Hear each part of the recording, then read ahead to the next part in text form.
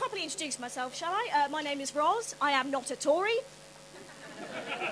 It's always worth mentioning that to break the ice, I think, because I know I fucking sound like one, right? yeah, yeah, I'm aware of the burden I hold as a posh person. But um, it's okay. I left the Tories down south, along with dry chips and emotional repression, so it's all good. You know, I could have maybe tried to run for leadership. I probably could have got away with it, but I think my definition of fucking the poor is a bit different from theirs. So, uh, wasn't going to work out. Yeah. Um, yeah, no, a few more facts about me. Um, I'm bisexual. I'm a bisexual lady. I am the bacon in the LGBT sandwich. you know, meaning I am delicious, but I am slowly killing you over time without you realising. I'm a little bit unethical as well. We got any bisexuals in? None? I'm the only one. well, hang on, was that cheer over there?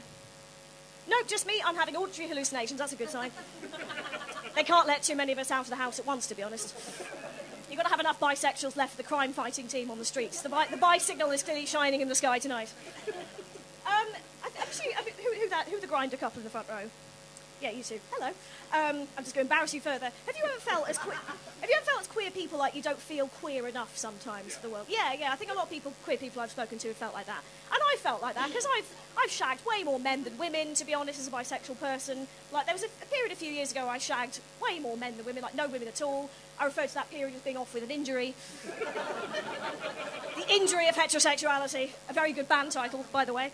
And like, I was actually applying for an LGBT comedy night in Manchester, I live, and I sort of hovered over the send button. I thought, am I legit for this? Am I queer enough? Like, I don't think I'm bisexual or queer enough for this night. Am I just an imposter? You know.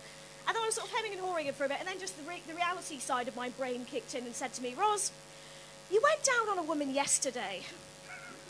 I think you'll be okay, Smells. I love just the, the groan at the suggestion of lesbian activity there. I don't think her favourite porn is lesbian porn.